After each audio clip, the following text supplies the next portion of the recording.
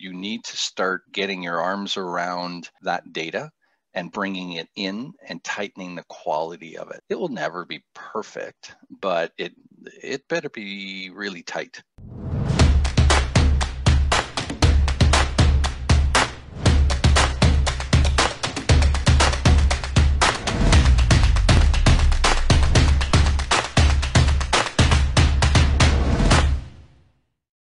For me, one of the really awesome things about ops is people take different approaches into the roles. We deal with similar issues yeah. sometimes, but we take different yeah. approaches as to how we deal with them. Yeah, um, sure. So, how has your life impacted your philosophy in ops? Oh my goodness, what a big, big question that is. Um, uh, I I fixate about the details um, and connecting the dots. That's what I do um, all day long um, to support my my customer, and my customer is the sales uh, rep, sales manager, sales director, um, and sales engineers. Um, they are uh, why I exist, basically, um, from a process standpoint, from a systems and application standpoint, um, onboarding. if they're if I'm doing my job correctly and getting them up to speed sooner uh, more uh, more knowledgeable so that when they're in front of their customers and prospects um, they feel confident and they can they can do what they need to do uh, to close business. So um, that's uh, that's what I love to do. I have sat in their chair. I've carried the bag as they say. I've sold. So I understand and I bring that empathy to say I get it. Let me help you. This is what we need to do and let's move on. So uh, I think that that helps bring a lot of credibility to to the role um, um, wherever I go. Yeah, superb, and this is why this interview is great because not everyone in ops has has sat in their shoes. Now. No, it's very interesting when you when you watch other uh, clips uh, from from your group and and just uh, uh at large uh, everyone's road to this type of role is uh, is different. It's it's very interesting, very interesting how people wind up and enjoy uh, uh this type of activity. Very yeah. very much needed, very underrated. Yeah, I agree. Um, and on that last point, actually, you know, changing now, but historically, there's there's probably been moments in time when sales ops people describe it as a backroom function. They describe it as not getting some of the recognition sometimes it, it deserves yeah. in a business. How do you reflect on how that's changed over the years, and what would you, the argument you would put forward as to why it's such a crucial function and should be involved in increasing numbers of strategic conversations and driving yeah. the business? Yeah, I mean, any any converse. Uh, any opportunity a sales director will will have. Um, they've got so many data points coming at them. They've got so many um, stimuli coming at them as far as uh, oh, you know, so and so popped up in the news, or uh, we saw this latest economic uh, report that's come out. What does that mean to uh, the Middle East or the Latin American market or that sort of stuff? Um, um they don't have time for all that. They, they, they need help to sift through it. Anytime I grab um, five minutes to clarify maybe a procedural issue um, or um, uh, something to that effect, they very much value it. Getting a hold of them can be quite a challenge uh, with their calendars and uh, the activities they're, they're working on every day. But once you get a hold of them, you, you want it to be more than just, hey, here's the funnel report, what's going on with this and this. Uh, there's certainly an element of that. Um, but uh, typically, if you get a hold of them and you clarify something, it's all about communication. Bottom line, it's all about communication and and and understanding and trust. Um, that's uh, that's what uh, this role really, really, uh, this type of work uh, comes down to. Mm, absolutely. And you actually raise an important theme here, and it's on the data. We think of it as an objective scientific thing, but actually it's also incredibly interpretive because people mm-hmm. can draw different lessons from data. Now, when you're having these conversations, you're finding rooms in people's brains.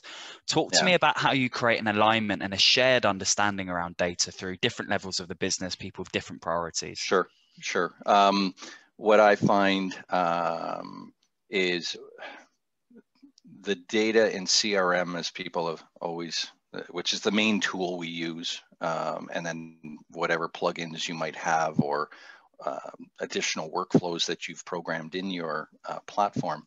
Um, data is always assumed dirty, right?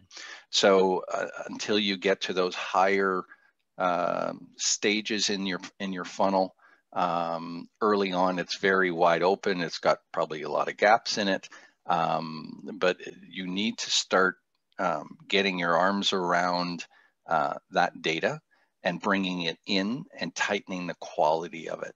It will never be perfect, um, but it, it uh, you know, let's say they're in the final couple stages of an opportunity, um, it better be really tight.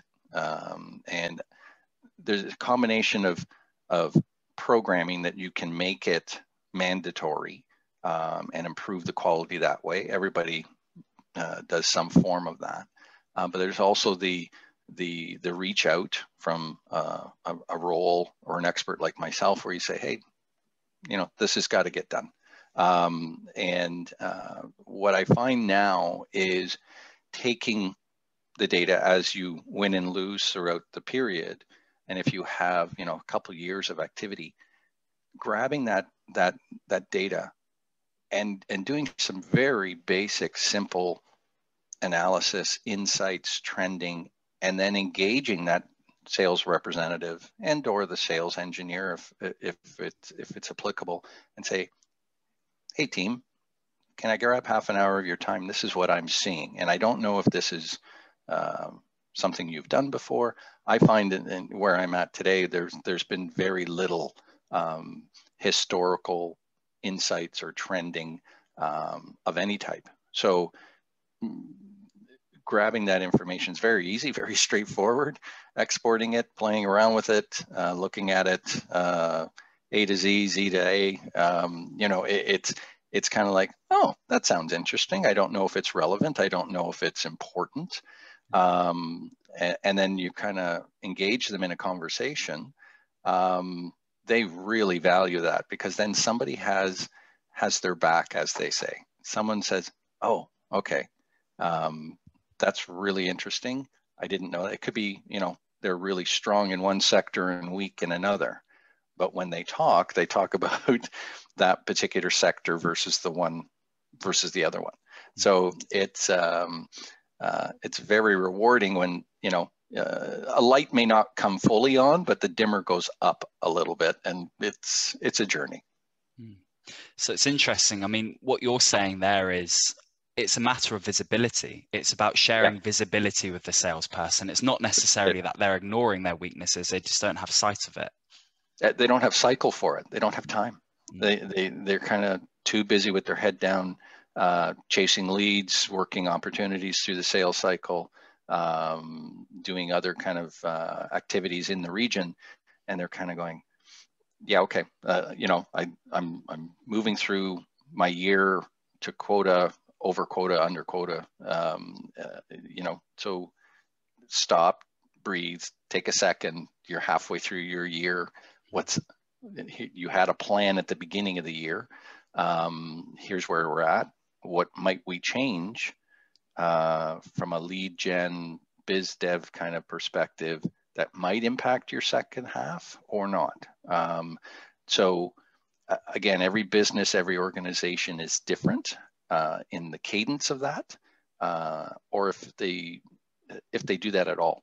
So mm-hmm. everyone's so busy now, um, they don't have time to do it. So someone needs to present that opportunity to them. Yeah. and educate and leverage it's their data it's their own information so it's kind of like they the um, the old question of well i don't trust it well it's your data you put it in there um, uh, so I trust it enough to do this analysis, um, and you're the author of it. So it's kind of that defense or argument goes away real, really, really, really quick.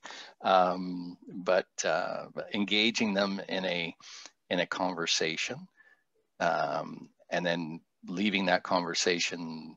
Um, it's interesting. Some many do something with it. A few do not. Um, but going through that exercise is very important.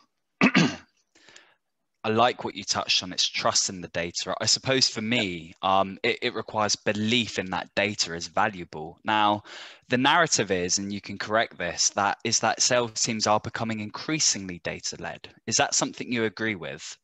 Um, and on the flip side, you know, like where are we heading? What kind of work do we need to do to get almost an army of sales ops, data led sales folks out there on floors? I like your thinking. Um, uh, data is becoming it's critical, uh, and, and, not only within the sales function, but in the um, the other departments that feed into it or off of it. Uh, finance, uh, in our case, it could be uh, software engineering, looking early stages in the funnel for uh, indications of features and functions that our products don't have, but the market's asking for it right? Um, so I'll, I'll have a conversation with engineering and they'll say, I'd, I'd love to have these additional features in, in CRM. It's like, great, that sounds fantastic. Let's give me a list. Let me, let me populate uh, CRM and educate the users and, and away we go. Um, and uh, so downstream we'll be able to, to use that. Um, it's taken probably 15 months for the organization to also be aware of the data set um, and the, the, the relative quality of that data set now relative to 15 months ago. Uh, so that's very rewarding. I've worked very hard to make sure through uh, data collection, cleansing, and some programming to make that data set as tight as possible. Um, so it's it's a relatively small data set that we uh, manage today. It's about um, 3,300 accounts, about six, 700 opportunities at any one time. And it's, you know, uh, north of 200 million. It's not a very big funnel. Um, but I keep asking myself and challenging myself, well, what if we double? What do I do? Um, I can't, I, I, can't keep doing what I'm doing uh, in certain areas manually, if you will. Uh, I need to automate that data. I need to, to import more data. I need to manage more data, that sort of stuff. Um, so yeah, data is very critical. Um, and, and the data set itself, uh, I find uh, currently three and four months out is the best I'm going to do. Six months is stretching it. 12 months out, um, is a real, real struggle. Even though the business might need it 12 months out for planning and forecasting purposes, if I get three or four months of quality data, I'm thrilled. Um, and, and, so that impacts uh, forward-looking uh, trending and just insights.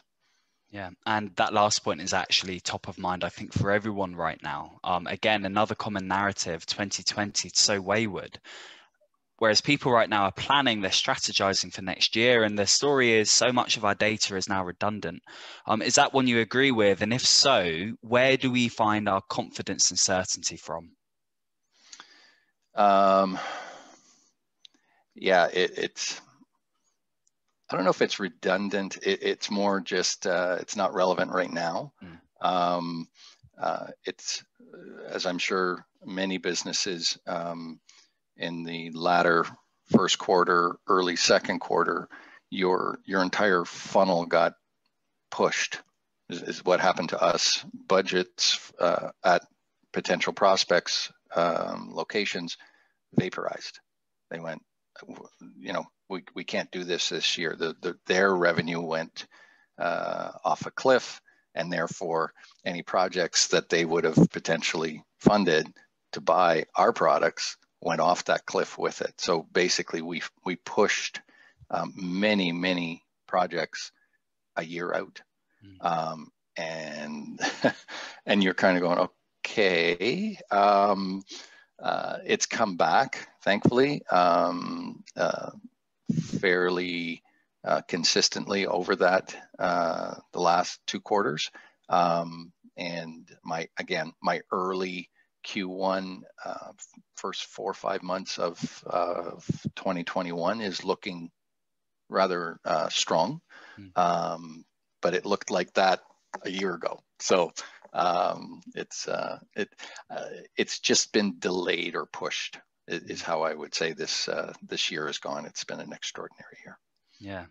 Now that's a really excellent technical and, and kind of business overview from it. But I'm always mindful that ops folks, it's it's an incredibly important but also highly pressured position to provide that confidence even when our surroundings can be chaotic. So as a human being, how have you responded to this? How have you responded to being in that kind of position? And how have you um, stayed strong? Yeah, yeah. Well, it it's um uh it's been a struggle um, for, as I'm sure everybody has uh, uh, had a rough year. I mean, uh, working remotely now versus in the office, um, you you were you would sometimes uh, confer with colleagues uh, at the next desk, next uh, cubicle over, that type of thing. at the lunch table, whatever the case may be, and, and kind of vent and and say, what do you think? And that sort of stuff. You can't do that now. Mm-hmm. so you're kind of um, uh, left with your own thoughts a lot. Um, and you kind of, you know, you just think it through. You just take your time, think it through, do your best. Uh, we're all, you know, struggling at, uh, uh in our own way. Um, keep focused on the work um, and, uh, and, and, and muddle through. Yeah. Yeah, I think that's really human and excellent advice. Um, yeah. quickly, how are you for times? Had another question and also to talk about Kluster. Tons of time. Tons of time. Awesome. Okay, so this is a question I love. Um, if you're in a room full of sales ops heroes, what would you ask them? Uh, um, oh, that's a great question. Um, I, what I'm what I'm starting to do is I'm starting to, um, and it may be forced uh, because of uh, the situation this year. Is I'm I'm watching a lot of uh, and attending a lot of uh, webinars, um, and uh, kind of more forward looking. What what what should I be thinking about? Um, my day to day, I I have control over that, but um, what are other organizations doing? What are other um, service providers offering, uh, whether it's their software um, or um, product, existing products I have, what additional features or modules are coming that I'm kind of going, oh, okay, I might be able to take advantage of that. That's going to cost me budget dollars. I got, I better, you know, let my leadership know, you know, I need X probably in 2022, uh, and here's my business case. Um, uh, I don't, I don't want to stand still, um, and uh, I want to be a little more proactive and planful, um, and say, if I have this, I can do this either faster, more completely. Uh, I can feed finance uh, more relevant data uh, in advance. I can feed demand planning um, stronger information for them to uh, work with our uh, manufacturing side and forecast better. You know, those types of things. Um, as I continue to learn the business I'm in today and the industry I'm in today, um, that's that's what I'm looking for. So I would be asking them, what are you what are you thinking today? Six months, twelve months, twenty four months out. Yeah. That's phenomenal. I think actually that's the best use of collective brain power, isn't it? It's not what's happening it, right now, but what might. And it's happen. hard to do. It's hard to do to take yourself out of your day to day, right? Yeah. And, and your comfort and kind of go, wow, what do I do next? You know, because yeah. you kind of fix the things in front of you and then you kind of go, oh, okay. You, you, you want to sit back, but you don't want to sit back. Mm. Uh, you want to um, keep keep pushing yourself and the organization forward. Yeah, superb. Okay, Tom. Um, that was a phenomenal interview actually what i particularly liked about it was of course like i said the technical the executable information mm. um, but also like the the step back and the honesty which i think everyone could do with right now. Um, mm. Everyone is probably being in a position where they don't always feel super confident, and that probably goes for anyone in any role. And I think something yeah. that's quite empowering yeah. is to hear other people talk about how they manage that. And, and you get caught up in it, right? Like mm. you can get caught up in your own head too, um, and, and it's you just got to stop. You just got to mm. say, look, we're all doing our best, um, and uh, are we better than three months ago, a year ago? Yes. Okay, let's keep moving. Let's keep moving forward. Um, you know, do we have a plan? Most don't. Um, you have something in your mind saying, look, this would be smart to connect those dots in, in my case, CRM, um, uh, making contracts available and visible at the account level. Never been done before. We're doing that now. Um, you know, um, in our case, you need to be technically trained to operate some of our equipment. Having that at the account level so that the account manager has that 360 degree view. And anyone who's coming into the into the platform uh, can say oh those 10 people got certified or trained. Some might be certified. And um, that has a shelf life of two years. So what are we doing two years or maybe 18 months from now to say to that organization and or individual hey it's coming up for renewal that's revenue right? So right now it's um, fragmented and uh, disconnected uh, a lot of the times. So we're trying to bolt onto um, the platform at the account level everything we can to tell the full story. Mm-hmm. Um, and it's it's interesting when I when I do demonstrations. I did a couple this week with new hires. Um, even just giving them the you know the half hour little orientation of, of our platform, I'm kind of going, boy, we've done a lot. Of, we've done a lot of work. It's it's simple, but it's impactful. Um, and again, it's it's just taking our own data and presenting it. Um, so um, it's uh, you got to stop and kind of go, wait a second, we just did that, but we're going that way, mm. right? So it's uh, it's hard. It's very hard to do. Mm. Yeah, it is hard to do, and I actually think this is why.